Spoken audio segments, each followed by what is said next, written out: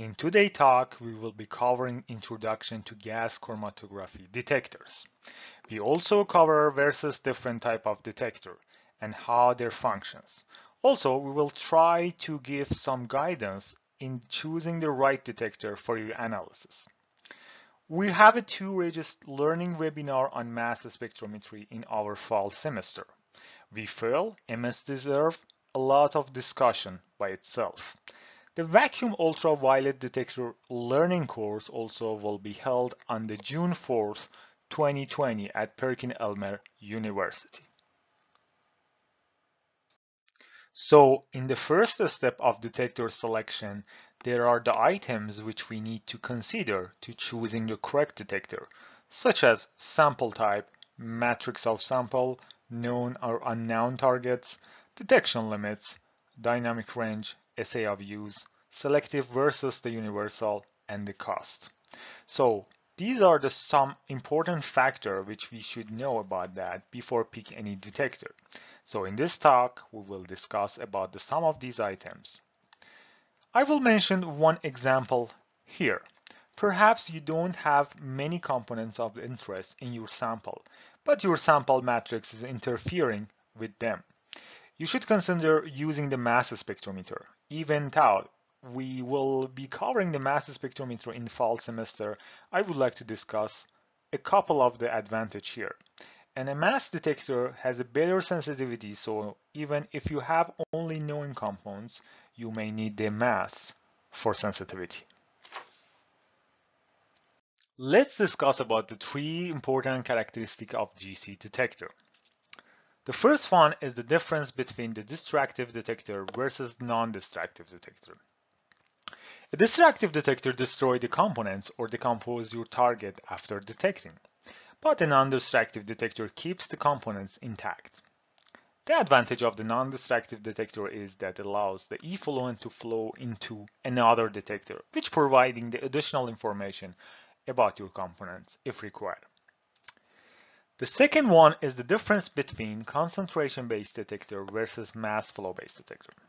So a detector can respond to either change in the concentration of component of interest or to the rate of the mass transfer of components in the carrier gas.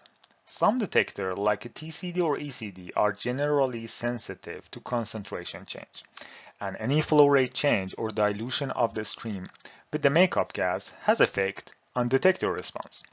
That's one reason why it is not recommended to use the constant pressure modes in the GC.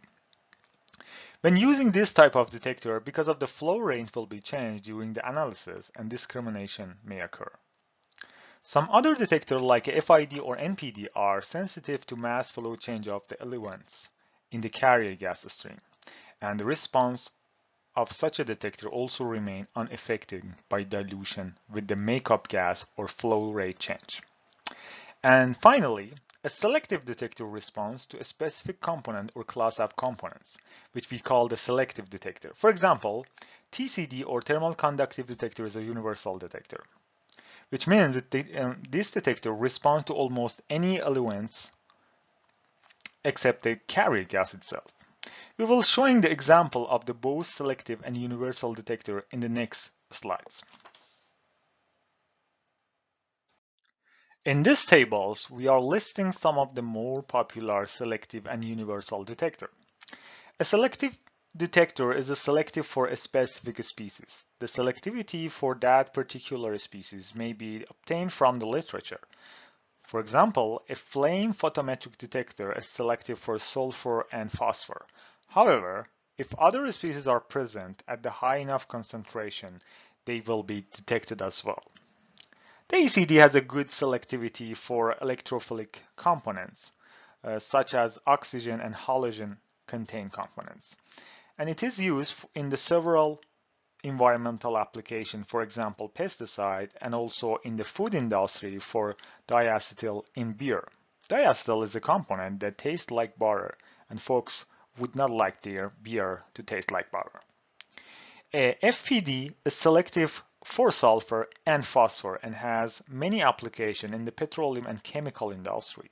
The other detector is ELCD, which, uh, which is an extremely selective detector. However, because it requires a lot of maintenance, applications using this detector have moved to the MS. The SCD is a nice detector as well.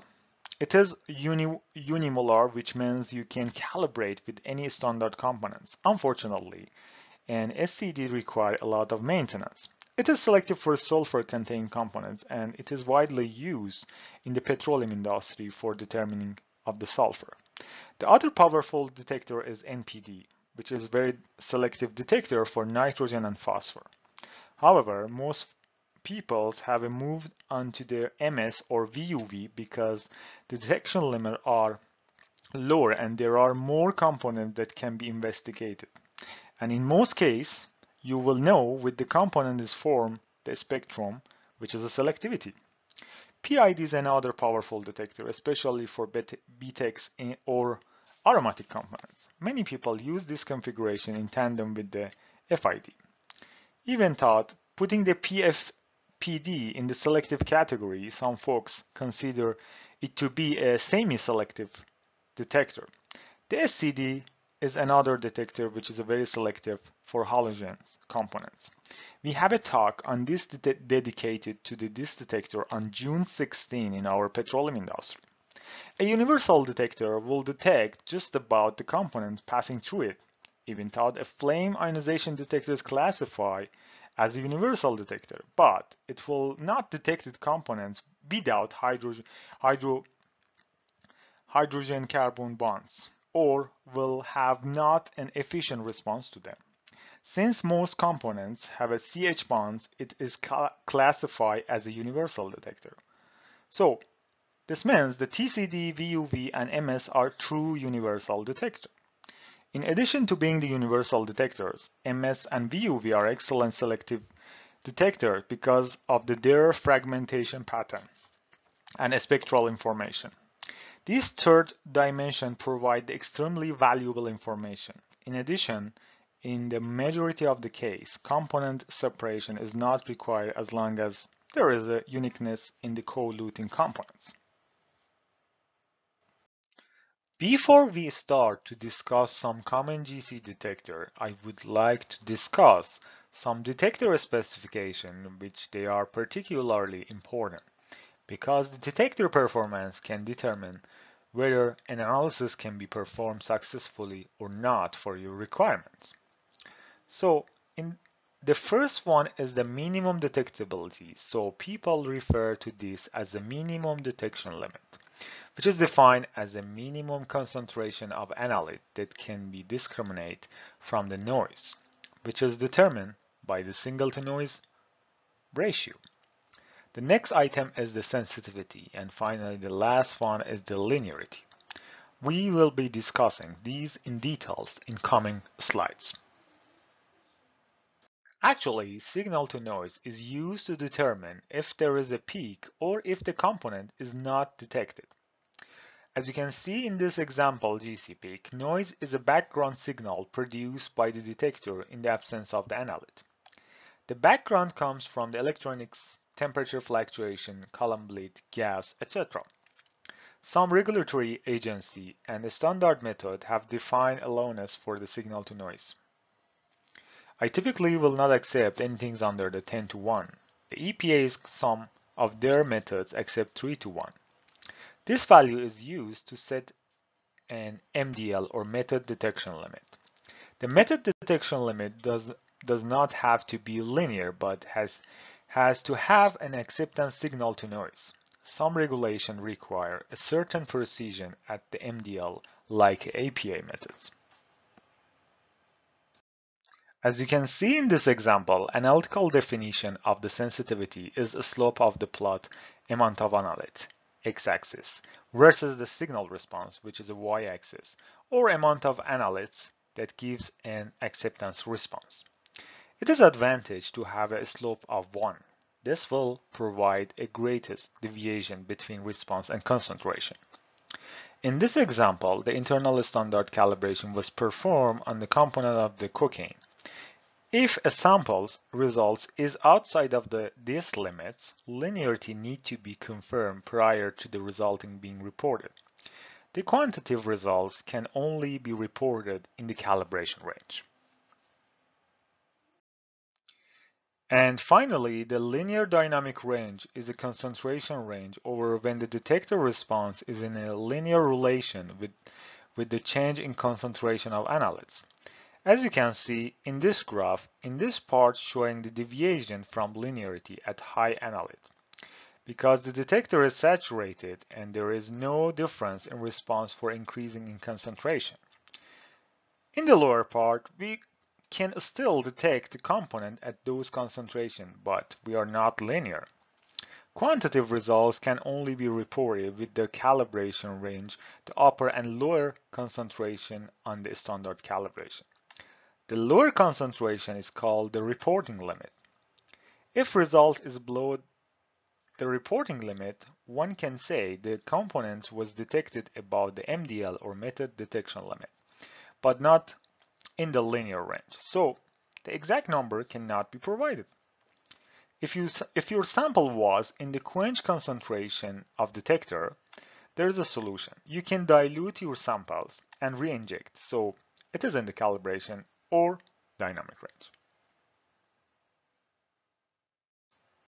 This slide has a very useful information when you decide to select a non-mass detector for your analysis.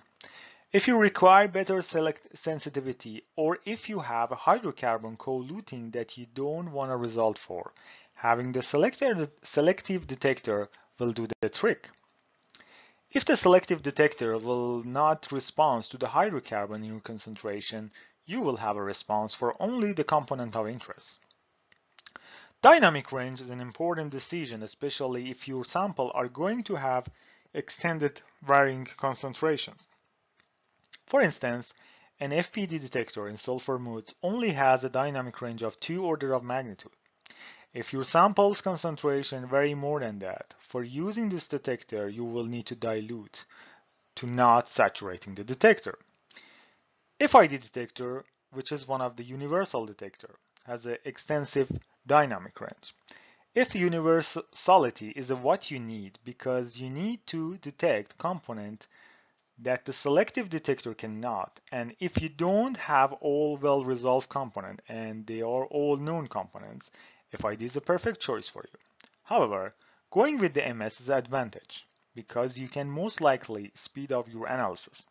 Because the separation is not critical as long as there is a unique ion to use, which in the most of the case they exist. If you have unknowns and you need to identify, MS and VUV is required. Even when the, with a non-mass or non-VUV selective detector, there is always chance of the contaminant co-eluting with, with your target that has a response in the detector. This will result in reporting the false positive or an incorrect results. Batch of product have been thrown away because of the false positive costing the industry more money than what the confirmatory detector cost. The selectivity columns let us know how the selective detector is most of the case with the respect to the carbon. Let's use the ECD as an example. The hydrocarbon would need to be at least in the high percentage level to be detected.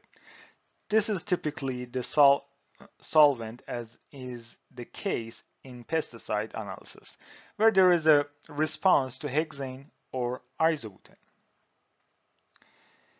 If you see these columns, in the last columns um, display the detector that are non-destructive in case you would like two detector in series, especially two selective detector, if your analysis require this. An MS detector is a destructive while the VUV isn't. However, an MS is more sensitive to it depend upon the needs. This will be discussed in the later courses. So in this session, I'm going to focus on these four common GC detector. Flame ionization detector, electron capture detector, thermal conductivity detector, and nitrogen phosphor detector. And we will have a separate talk about the VUV detector at PerkinElmer University on June 4th. And also I'm going to invite you to attend to mass spectrometry course in the fall semester.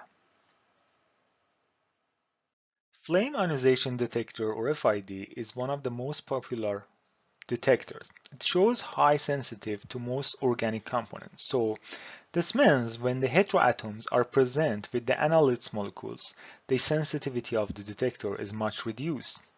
And FID is very stable detector. In this slide, you can just see some of the specification of the detector like high sensitivity, large dynamic range, low noise, and the max temperature of this detector is 450 degree. But going to this temperature, we need to ensure our analytical column stationary phase is capable of functioning in that temperature and will not degrade.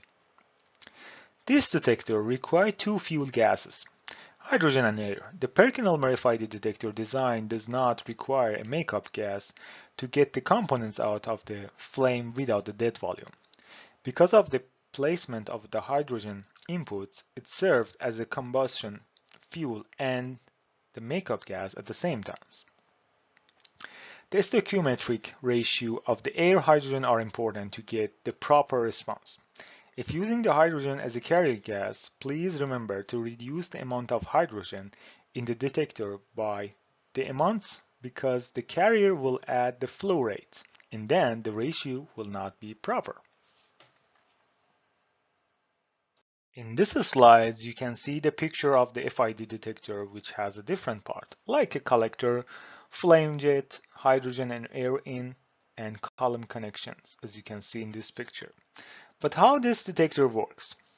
So the column effluent is mixed with the hydrogen and air and the makeup gas if it's required and ions are formed by the combustion of the organic molecule in the flame and they became ionized and their energy is proportional to the energy in the hydrogen carbon bonds.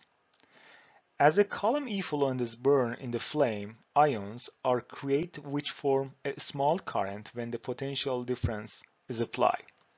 When the new analyte is being burned, a small background current 10 to 20 picoamperes arises from impurity in the carrier and detector gases.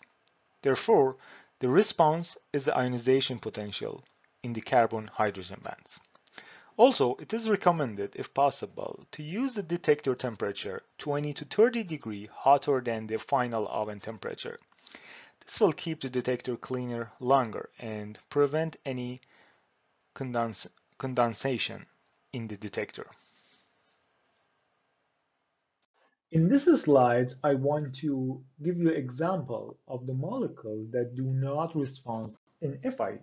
But before that, I would like to mention Paraffins or normal hydrocarbons and aromatics provide the most intense signal in FID. Here is a list of some common GC elements and components that are routinely investigated by gas chromatography, but not by FID. The majority of these will not respond in FID. Formaldehyde, carbon disulfides, and H2S will have a very small response. Moisture will not give the response as well. However, because of the its cooling effect on the detector, you may see a change in the baseline while the water is eluting. Because of this, it may quench the signal of the target components eluting at the same times. In some petroleum applications, this quenching effect is since when the CS2 is used as a solvent. Before leaving the FID, I would like to point out the effect of functional groups and other elements on the response. Since the response in AFID is due to ionization potential in the hydrocarbon bond and electronegative elements in the molecular will reduce this energy. Decreasing the energy is uh, in the bond there before the decreasing the response of the detector. For example, the oxygen on the molecule can reduce the response by 40%. Chlorine can reduce response, this response by 20%. Of course, depend on the components. The next detector which I would like to discuss is electron capture detector. This detector measures the electrical conductivity of the effluent gas stream, resulting from exposure to ionizing radiation from radioactive elements.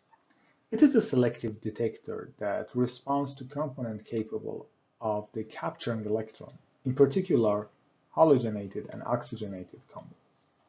Like FID, the ECD response is component specific. The specification provided of 20 femtogram is, a, is for the pesticides. This is an incredible sensitivity. A mass spectrometer in negative CI modes provide the best sensitivity for most halogens. The dynamic range is also good, or however, not as good as the FID, but an FID couldn't attain the detection limit of the 20 femtogram of the pesticide, which is a required by drinking water methods. Again, a trade-off of requirements. Historically, we used the 5% methane-argon mix as a makeup gas, but now the popular makeup gas is nitrogen. It is cleaner and provide a bit more sensitivity. There is a balance between the keeping the detector cleaner and response. We have found that 30 ml per minute flow is the sweet point for this detector. In this slide, we will discuss about the, how the electron capture detector works. You can see the picture of the ECD over here. As you can see here, the radioactive nickel-63 sealed inside the ECD detectors. These radioactive elements emit the electron or beta particle, which these reactions formed a stable cloud of free electron in ECD detector cell and ionize the makeup gas molecule which located into the detector. Now, if any electronegative component present in the carrier gas, the background current is reduced because these components capture the electron. And these current reductions makes the detector signal. One of the factors which affect in the ECD detector is the carrier gas.